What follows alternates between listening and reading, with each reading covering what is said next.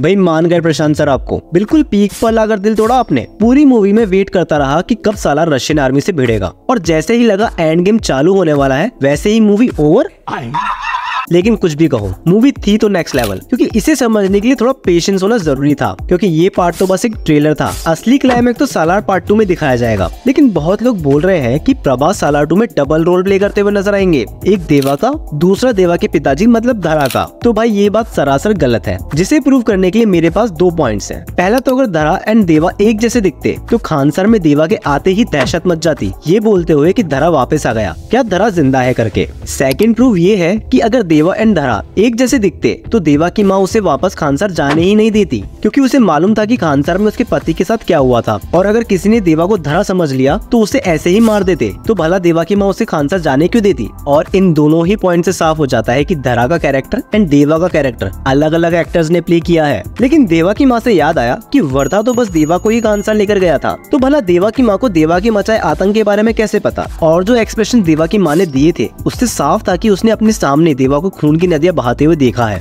क्योंकि भाई देवा की माँ ने सच में देवा को खून की नदियाँ बहाते हुए देखा है। कैसे? वो मैं बताता हूँ। हमें पता है कि मूवी एंड होते होते राज मन्नार ये जान चुका है की देवा जो है धरा का बेटा है। और बचपन में देवा और उसकी माँ ज़िंदा बचकर भाग गए थे। और अब जब राज मन्नार को पता है कि दो शौरंगी ज़िंदा है तो वो उन्हें मारने की कोशिश ज़रूर करेगा। तो स्पेशली वो देवा को मारने के लिए देवा की माँ को उसके अगेंस्ट यूज़ करेगा। और देवा अपनी माँ को बचाने के लिए ना जाने कितने लोगों की जान लेगा। और मजबूरन वर्दा को भी राजमन्नार का डिसीज़न मानना पड़ेगा। क्योंकि वर्दा को खानसर का राजा बनना है और शायद इसी वजह से देवा एंड वर्दा की दुश्मनी चालू होगी। और जहाँ तक कृष्णकांत की बात है तो ज़रूर वो देवा और उसकी माँ की मदद करेगा खानसार से बचकर निकलने में। अब वो उसकी मदद क्यों करेगा और मेरी इस थ्योरी में कितना दम है, वो तो समय आने पर ही पता चलेगा। लेकिन असली दम किसमें है, वो सालार के कलेक्शन ने बता दिया है, क्यूँकी मूवी बहुत जल्द वर्ल्ड वाइड सात सौ करोड़ ऐसी ज़्यादा की कमाई करने वाली है। लेकिन क्या ये हज़ार करोड़ के फिगर को टच कर पाएगी? इस बात पर आप लोग क्या सोचते हो? कमेंट सेक्शन में ज़रूर बताना। बाकी जल्दी ही मिलते हैं अगली वीडियो में। आपके अपने चैनल मोव फॉर ऑल में।